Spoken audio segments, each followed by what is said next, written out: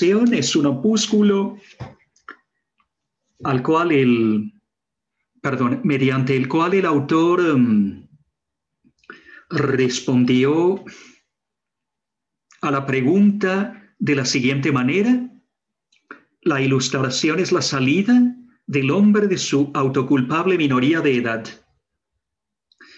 Y por minoría de edad hemos de entender la incapacidad para utilizar el propio entendimiento sin la guía o la conducción de otra persona. Existe autoculpabilidad relativamente a esa minoría de edad, o sea, a esa minoridad, en la medida en que la causa de la minoridad no reside en la carencia de entendimiento o en la carencia de inteligencia, mejor aún, en la carencia de habilidades cognitivas, sino antes bien en la falta de decisión y de valor para utilizar las propias capacidades cognitivas, las propias habilidades cognitivas, mejor aún, sin el auxilio de otra persona. Por ejemplo, un gobernante, por ejemplo, un director espiritual, por ejemplo, un maestro. La divisa de la ilustración desde el punto de vista de Immanuel Kant no es sino sapere aude. Esta respuesta del autor es rima. ¿Cuál es la divisa de la ilustración? Sapere aude, o sea, atrévete a saber. Ten el valor de servirte de tu propio entendimiento, como reza la traducción preparada por Agapito Maestre y José Romagosa para la editorial Tecnos. Ten el valor de servirte de tu propio entendimiento para deliberar, para identificar las razones, por cimentar una decisión o por inclinar hacia una decisión. Según el autor, son por una parte, perdón, es por una parte la pereza es por otra parte la cobardía, aquello que concurre causalmente con la producción de ese estado de cosas consistente en que un porcentaje muy alto de personas humanas permanezca en la minoridad, permanezca en la minoría de edad. Y por cierto, no de manera involuntaria, sino voluntariamente, y hasta con deleite, con placer. A pesar de que hace ya tiempo, plantea el texto explícitamente, la naturaleza liberó a las personas humanas de la dirección ajena. Es tan cómodo ser menor de edad si tengo un libro que piensa por mí, o bien un maestro que piensa por mí, o bien un director espiritual, desde luego este parece un dardo contra cierto catolicismo, aquel que atribuye al director espiritual un papel protagonista relativamente a la dirección de la vida espiritual o bien del comportamiento moral. Cabría pensar en lo que ha escrito José María, escriba de Balaguer, a propósito del director espiritual, en su célebre opúsculo Camino, un opúsculo de espiritualidad ascética, que como probablemente lo saben, se halla en la base misma del ascetismo de los integrantes, los numerarios, por ejemplo, del Opus Dei. El texto me parece sumamente interesante. Helo aquí. Si tengo un libro que piensa por mí, por ejemplo, las Sagradas Escrituras. Un director espiritual que reemplaza mi conciencia moral. Eso es, me parece, veamos, lo que el autor no ha planteado en este lugar, lo que el autor ha planteado en este lugar no es hiperbólico en el sentido de que parece corresponder a lo que cierto catolicismo ha preconizado. El fiel debe con literalidad entregarse en alma al director espiritual. Es el director espiritual quien debe asumir el papel de ciencia moral del fiel, lo cual desde el punto de vista de Immanuel Kant es aberrante un médico que me prescribe la dieta, o bien un nutricionista, el cual prescribe la dieta, por observar, entonces no necesito esforzarme. Si puedo pagar, entonces no tengo necesidad alguna de pensar. Otros asumirán por mí la fastidiosa tarea de pensar, la agobiante tarea de pensar aquellos tutores que de manera tan bondadosa han asumido sobre sí la tarea de supervisión, se encargan de que el tránsito hacia la mayoridad, o sea, hacia la mayoría de edad, además de ser, además de ser difícil, sea considerado peligroso por la gran mayoría de las personas humanas. Y entre ellas todo el bello sexo. Y después de haber entontecido a sus animales domésticos y procurar cuidadosamente que estas pacíficas criaturas no puedan atreverse a dar un paso sin las andaderas en que han sido encerradas, les muestran el peligro que las amenaza si intentan caminar solas.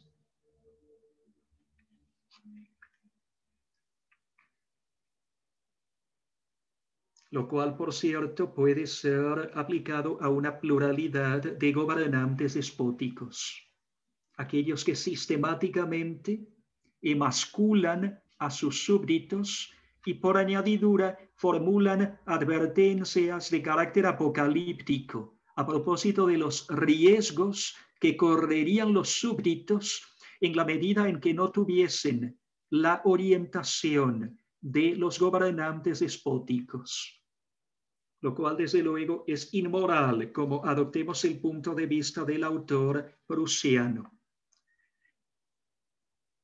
Lo cierto es que este peligro no es tan grande como suelen aseverar algunos, pues aprenderían a caminar solos después de unas cuantas caídas, o sea, las personas humanas aprenderían a caminar por sí mismas después de unas cuantas caídas.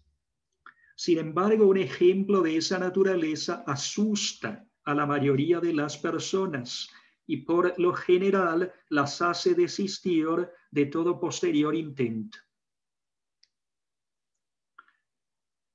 Un intertexto de lo anterior podría ser el célebre opúsculo, no disculpen, ese no es un opúsculo, es el texto a propósito del siervo albedrío el texto de 1525 a propósito del siervo albedrío de Martín Lutero, un texto en el cual Lutero, Lutero aseveró explícitamente que él no quería ser libre. Mejor aún, que si hubiese podido ser libre, entonces habría rehusado ser libre. Desde el punto de vista adoptado por Martín Lutero, es mejor que la causa primera asuma la tarea de orientar a sus criaturas. Ese podría ser un intertexto polémico relativamente a este opúsculo kantiano. Entonces, es difícil para todo individuo humano abandonar ese estadio de minoridad casi convertida en naturaleza, en segunda naturaleza. Incluso, ha aseverado el autor, ha tomado afición a ese estado de servidumbre o de dependencia relativamente de una autoridad, perdón, respecto de una autoridad, y se siente incapaz de utilizar su propio entendimiento, porque nunca se le ha permitido realizar ese ensayo. Principios y fórmulas, instrumentos mecánicos de orden natural, perdón, instrumentos mecánicos de uso racional de sus dotes naturales son los grilletes de una permanente minoridad.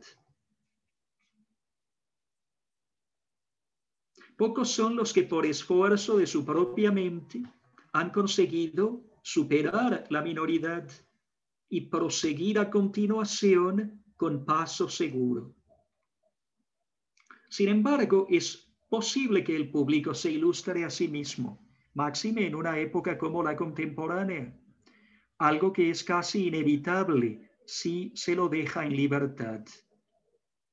Este me parece un comentario que resuma entusiasmo y, por qué no, optimismo. Es posible que el público se ilustre a sí mismo, algo que es casi inevitable si se lo deja en libertad. O sea, si no es oprimido, si no es sometido a servidumbre, entonces el público espontáneamente tenderá a ilustrarse a sí mismo. No estoy seguro de que una aseveración como esta cuente con evidencia empírica que la respalde. Siempre se encontrarán algunas personas que piensen por sí inclusive entre los establecidos tutores de la gran masa, los cuales, después de haberse emancipado relativamente a la minoridad, difundirán en su entorno el espíritu de una misma estimación, perdón, el espíritu de una estimación racional del propio valor, como por valor entendamos valía, y de la vocación de toda persona humana a pensar por sí. A continuación aflora una distinción muy importante. Esta es una de las contribuciones fundamentales del opúsculo, la distinción del uso público de la razón con respecto del uso privado de la razón. El uso público de la razón es el uso de la razón que se realiza en cuanto que docto o erudito, mejor aún, perito, a propósito de un cierto tema, a propósito de un cierto objeto de estudio. El uso privado de la razón es, en cambio, el uso que un particular realiza de su razón en la medida en que ese particular se desempeña como funcionario al servicio del Estado, como funcionario público. Reitero, el uso público de la razón es el uso que se hace relativamente a la razón en la medida en que se es un docto o un perito a propósito de un objeto el objeto al cual se hace referencia mediante, por ejemplo, una concatenación de argumentos. En cambio, el uso privado de la razón es el uso de la razón que realiza un particular no en la medida en que ese particular es un docto a propósito del tema gamma, sino en la medida en que ese particular se desempeña como funcionario público. Entiendo por he aquí lo que el autor explícitamente ha estipulado.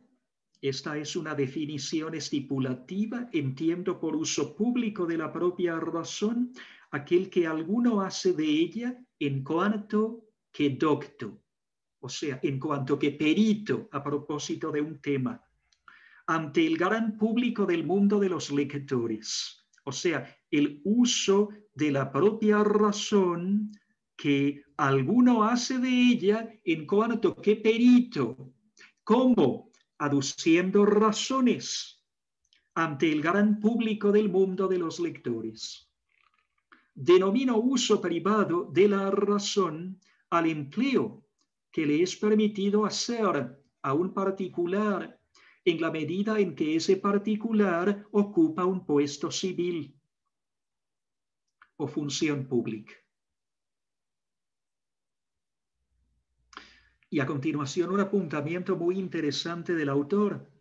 En algunos asuntos que transcurren en favor del interés público, se necesita un cierto mecanismo, a saber, una unanimidad artificial, por virtud del cual mecanismo algunos integrantes del Estado o del servicio civil del Estado han de comportarse pasivamente para que el gobierno los guíe hacia la realización de fines públicos, o cuando menos, para que el gobierno haga imposible la destrucción de esos fines.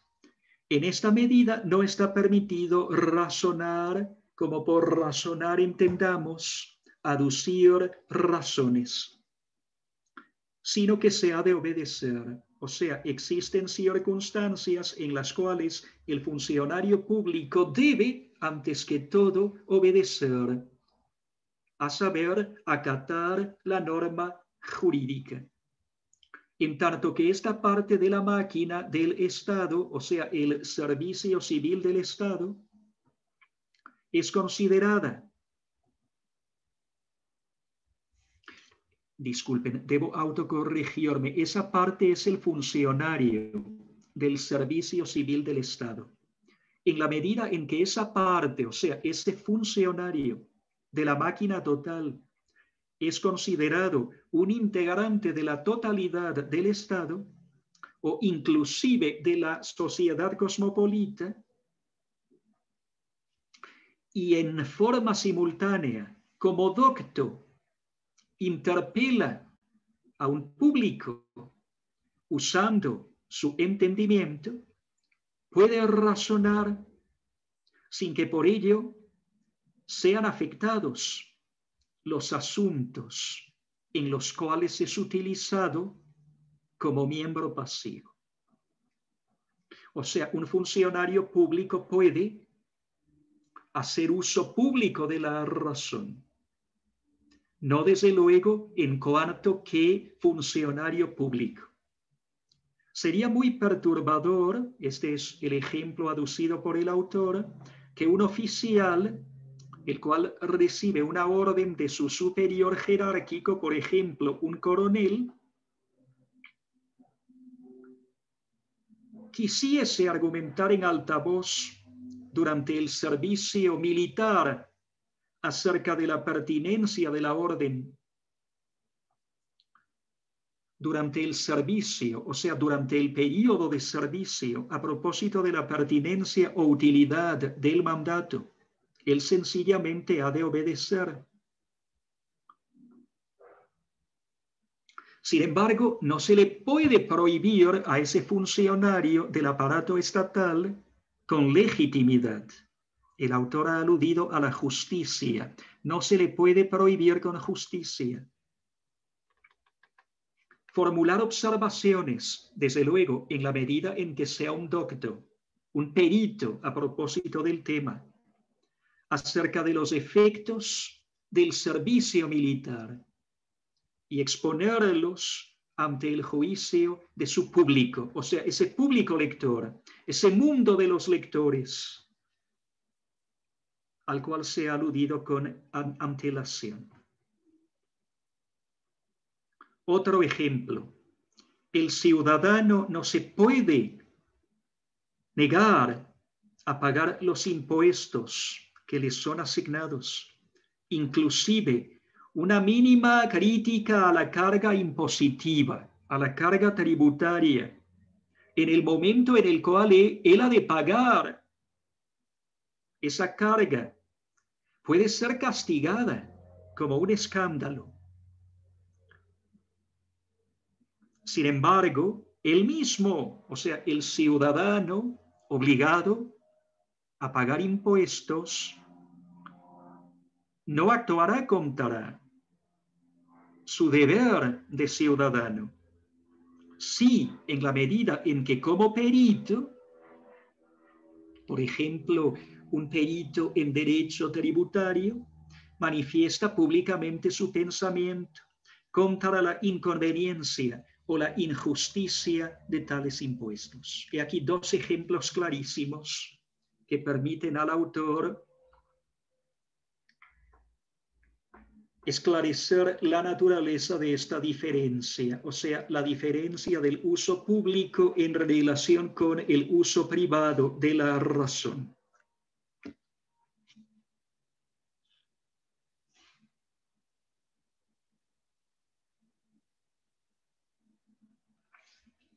Y a continuación entraremos en la última porción del opúsculo, el cual es pequeñito.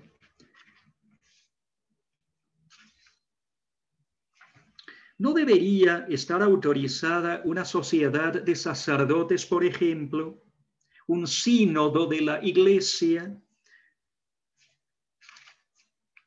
a comprometerse bajo juramento. Entre sí a un cierto símbolo inmutable de la fe, me permito añadir, para realizar una interminable y suprema tutela sobre cada uno de los integrantes de la iglesia, por ejemplo, la iglesia luterana de Prusia, y a través de esto sobre el pueblo, eternizando de esta manera la tutela Afirmo, que aquí la respuesta de Kant a la pregunta, que esto es absolutamente imposible. Un contrato como ese, el cual excluiría por siempre toda ulterior ilustración del género humano, es nulo y sin efecto, aun cuando fuese confirmado por el poder supremo.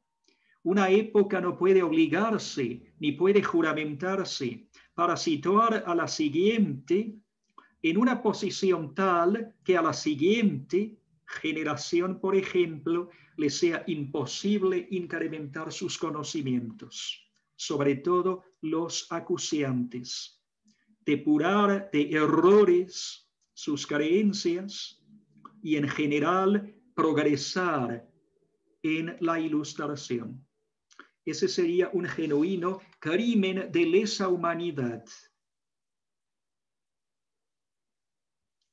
El destino primordial de la cual es precisamente el progreso.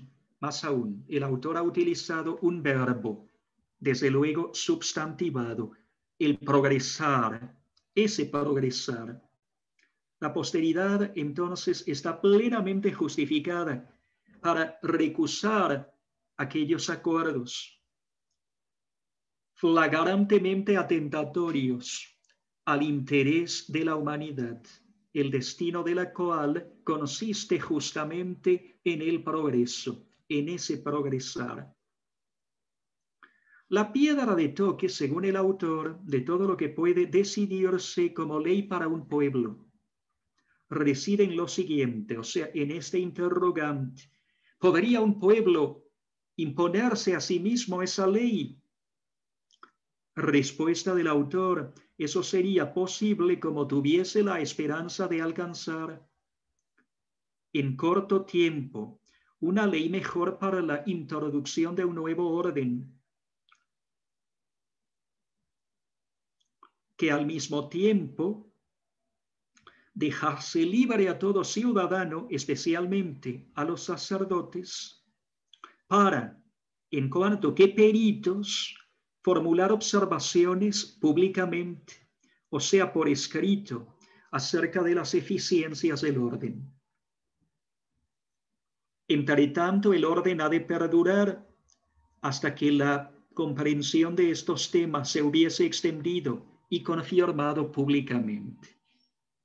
En forma tal que mediante un acuerdo logrado mediante sufragios, aunque no de todos, o sea, los de una mayoría, se pudiese elevar al trono una propuesta para la protección de las comunidades que se han unido para una reforma religiosa, conforme con los conceptos de una comprensión más esclarecida, más ilustrada, sin impedir que los que deseen permanecer fieles a la antigua constitución lo hagan.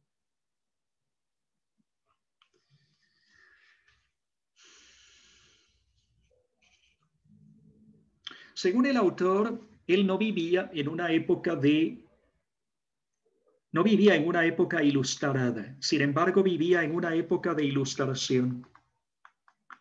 Y a continuación hizo observar lo siguiente, hace falta mucho para que las personas humanas, consideradas en su conjunto, puedan ser capaces de servirse apropiadamente y con seguridad de su propio entendimiento, sin la guía de otro en materia de religión. Sin embargo, en el presente se les ha abierto el espacio para trabajar libremente en este empeño. Y percibimos inequívocas señales de que disminuyen continuamente los obstáculos para una ilustración general o para la salida de la autoculpable minoridad desde este punto de vista, nuestro periodo histórico es un periodo de ilustración, o bien el siglo de Federico II de Prusia. Y a continuación el autor parece haberse referido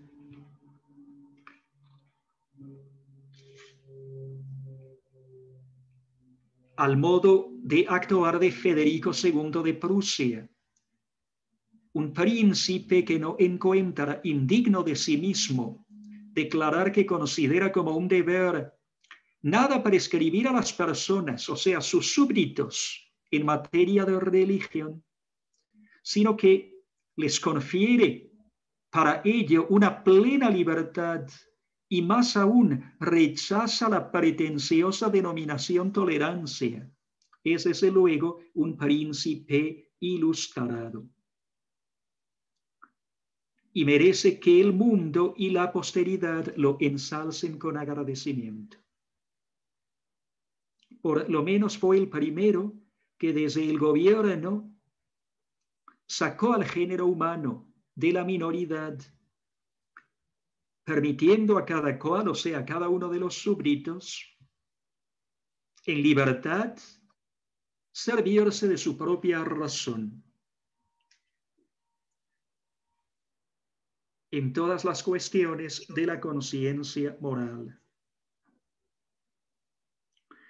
Bajo el gobierno de un príncipe como Federico II de Prusia, dignísimos clérigos, muchos de ellos peritos, pueden someter al examen del mundo de los lectores, previamente aludidos, el mundo de los lectores,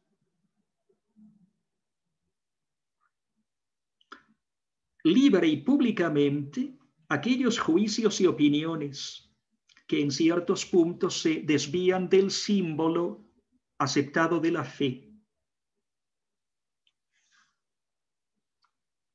Con mayor razón esto puede realizarse, puede ser realizado por aquellos que no están limitados por algún deber profesional. Este espíritu de libertad experimenta una expansión exterior, no solamente una expansión interior, sino también una expansión exterior, inclusive donde debe luchar contra los obstáculos externos de un gobierno que equivoca su misión. Este ejemplo aclara, según el autor, por qué no debe temerse en un régimen de libertad, un régimen liberal,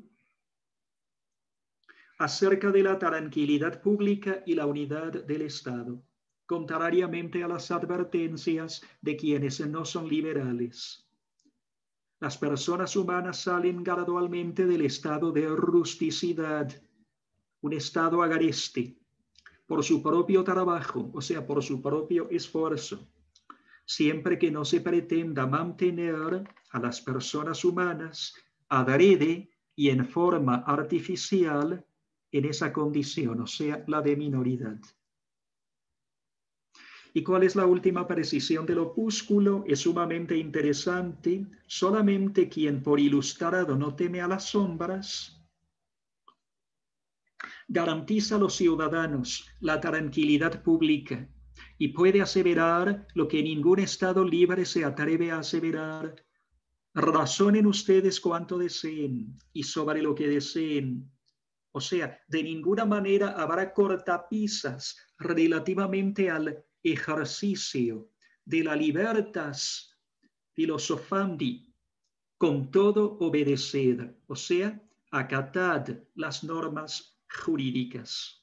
Razonad cuanto queráis y a propósito de lo que queráis, más obedeced, o sea, acatad las, las normas jurídicas. Se muestra aquí, según el autor, un extraño e inesperado curso de las cosas humanas. Pues sucede que si lo consideramos con detenimiento, casi todo en él es paradójico. Un mayor grado de libertad ciudadana parece ser ventajoso para la libertad de espíritu del pueblo y sin embargo le fija barreras infranqueables. En cambio, un grado menor de libertad le procura el ámbito necesario para desarrollarse con arreglo a cada una de sus facultades. Y una vez que la naturaleza, bajo la cáscara, ha desarrollado la semilla que cuida con extrema ternura, o sea, la vocación hacia el libre pensar, el hecho repercute gradualmente sobre el sentido del pueblo y finalmente invade los principios del gobierno que encuentra posible tratar a la persona humana conforme con la dignidad que le es intrínseca. Hasta aquí el interesante opúsculo kantiano, que es ilustración